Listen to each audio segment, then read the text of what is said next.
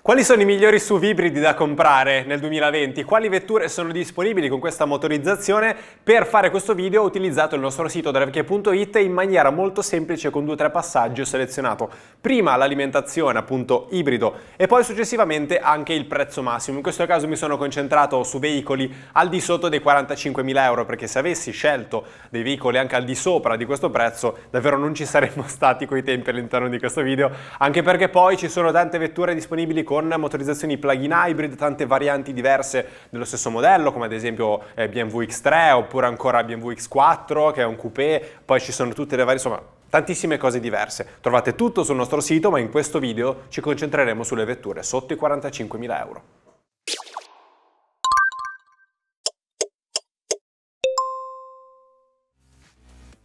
Una delle vetture più interessanti è la Kia Niro, una vettura lunga 4,35 m di lunghezza e all'interno di queste dimensioni piuttosto compatte offre comunque molto spazio interno. Tra l'altro è una vettura che ha a disposizione una motorizzazione full hybrid, quindi alle basse velocità o diciamo più genericamente in città riesce a viaggiare in modalità soltanto elettrica e riesce anche a stare intorno ai 20 km con un litro di percorrenza minima. Quindi secondo me è un buon risultato, anzi direi ottimo per quel che riguarda questa categoria di veicoli e poi è disponibile anche in modalità plug-in hybrid quindi con batteria ricaricabile a circa 36.000 euro, una vettura che può percorrere quasi fino a 60 km in modalità elettrica. Suzuki Vitara Hybrid, un'altra vettura interessante, 4,17 m di lunghezza, veramente molto molto compatto, ma spazioso all'interno, leggero e dotato tra l'altro volendo di trazione integrale, con la motorizzazione 1400 Hybrid, che peraltro adesso è anche l'unica disponibile a listino. Precedentemente c'era sempre un 1400 non hybrid, adesso hanno adattato quel propulsore per viaggiare grazie anche a questo questo eh, motorino elettrico che aiuta il motore in accelerazione e recupera energia in frenata, quindi è un ibrido di tipo mild hybrid. Queste poi sono differenze che chi ci segue da tanto tempo già conosce. Qui sotto nel primo commento vi lascio due link per poter approfondire i discorsi proprio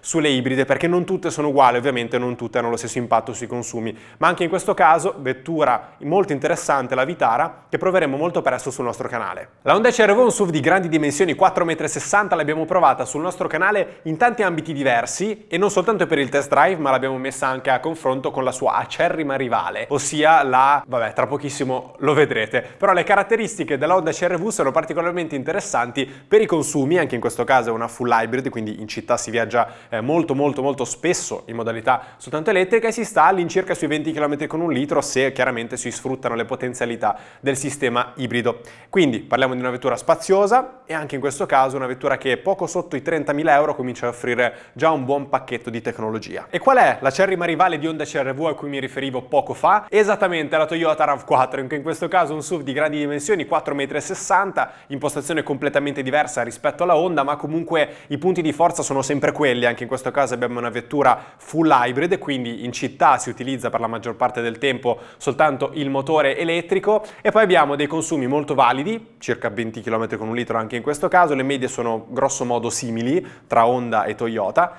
poi abbiamo anche un buono spazio interno quindi una vettura interessante secondo me e tra l'altro Toyota è anche proprio sinonimo di ibrido ormai, anche perché le automobili che vende, se non qualche eccezione, sono appunto dotate tutte di questa motorizzazione. Dicevo Toyota è sinonimo di ibrido, all'interno della gamma Toyota abbiamo un altro SUV compatto, anzi un crossover compatto che si chiama CHR, sicuramente lo conoscerete o comunque l'avrete già visto sulle nostre strade, anche perché qua abbiamo una vettura molto apprezzata nel corso degli ultimi anni dai clienti italiani, un modello rinnovato poco fa con un restyling non molto marcato a livello estetico, più diciamo concentrato sui contenuti, un prezzo di listino che parte da poco sotto 30.000 euro, non molto spazioso all'interno, ma se cercate un qualcosa di accattivante con questa motorizzazione, Toyota CHR anche qui è da prendere in considerazione. Hyundai Tucson è una delle vetture più interessanti del segmento, ma purtroppo non offre la motorizzazione full hybrid, che è quella che impatta di più sui consumi, ovviamente in maniera positiva se usata nel modo giusto, però c'è una motorizzazione mild hybrid, comunque con un piccolo aiuto in accelerazione e un sistema di recupero dell'energia in frenata, come abbiamo visto anche su Suzuki Vitara, però anche in questo caso è una vettura che vale la pena prendere in considerazione per i contenuti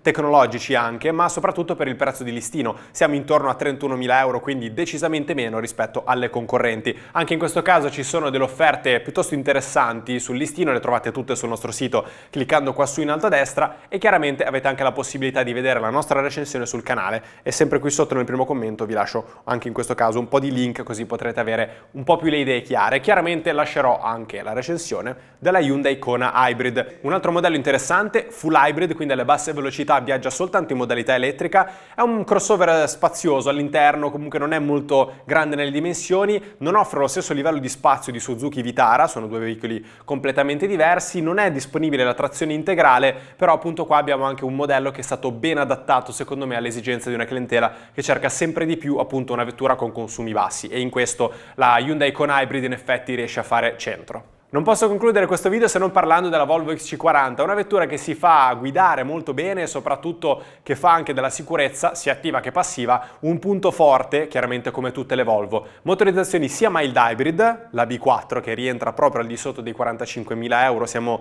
a quota 42 circa, con 197 cavalli. E poi c'è anche la versione plug-in hybrid, però in questo caso siamo oltre i 45.000 euro, seppur di poco, perciò non possiamo considerarla in questo video, ma sul nostro sito, cliccando qua su in alto a destra, destra potete vedere tutte le caratteristiche delle auto e soprattutto vedere quanto costano e magari fare i calcoli proprio anche con gli incentivi nazionali previsti per questa tipologia di vetture e vedere appunto quanto potete risparmiare sul nostro sito. Noi ci vediamo alla prossima, sempre qui su DriveK, se non l'avete ancora fatto mi raccomando iscrivetevi al nostro canale YouTube. Ciao, alla prossima!